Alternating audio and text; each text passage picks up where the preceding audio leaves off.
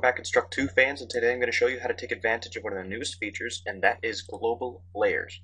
So what we're going to do is we're going to create a new project off of the Ghost Shooter tutorial version, and then what we're going to do is we're going to go to Projects, we're going to create a new layout, no event sheet, we're going to call this Global to represent our global objects, layers, and etc. And so what we're going to do is we're going to first rename this to UI.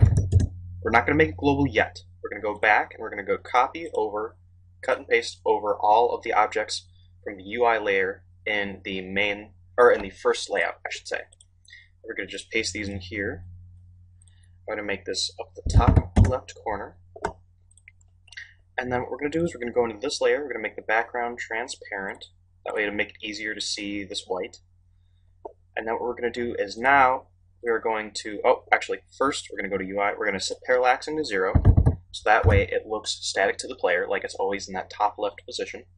And then we're going to set it to global. And what this is going to do is this UI layer will overwrite all other UI layers within the project, which means this UI layer is going to be overwritten by this one, by our new layer. So what we're going to do we're going to test this out, let it load, and ta-da! It's parallaxing. It's up in the top left corner. It looks exactly like we wanted it to from the original project, and it is working.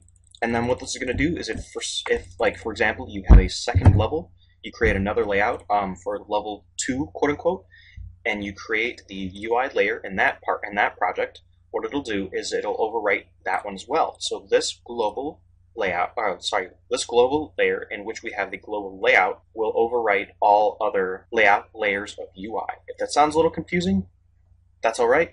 It should work the same way in pretty much all projects. And since it doesn't take a whole lot to implement this in your games, I would suggest that you, for example, if you have multiple UI layers and a bunch of layouts, that you consolidate those into one global layout, sort of like I did here. Except, you know, it'll be a lot more complicated in the larger projects that you guys have. However, I think it is worth it. So, thank you guys for watching. I will be back with more tutorials. I'm always interested in making things for you guys. And thank you very much for subscribing, and I will see you guys next time.